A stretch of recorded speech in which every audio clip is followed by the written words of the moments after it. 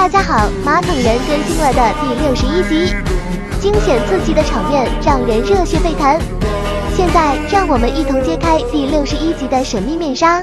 故事刚开始，一位监视器人狂奔而至，他的手臂已被切成两半，鲜血如泉涌。就在此刻，另一位监视器人也拼命奔跑，一个圆锯马桶人紧追不放，一下子圆锯马桶人把监视器人锯成两半，太血腥了。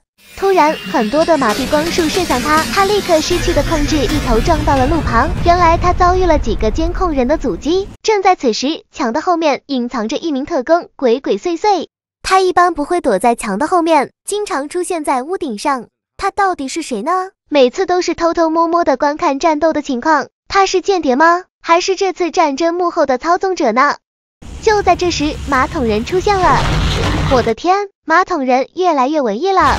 一改往常凶狠的模样，搞起了文艺范，长长的头发，还戴个眼镜，感觉是个摇滚歌手。装备上可以看出，他经历了全面升级，身上装备了火箭发射器，他不断发射光束，逐个消灭前来阻击的监视器人。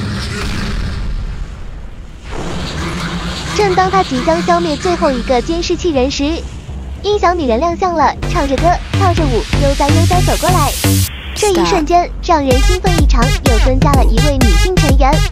她的扬声器散发着红色的光芒，马桶人试图用他的光束攻击音响女人，这对音响女人毫无影响。音响女人发出了一枚炮弹，马桶人也没有受到伤害。音响女人双手各持一把单刀，突然甩出，双刀插入马桶人的双眼，马桶人痛苦的咆哮。他运用扬声器声音纵身一跃，登上马桶人的顶部。按下了冲水马桶的按钮。当摄像机镜头移动时，我们看到音响人正在跳他们标志性的舞蹈。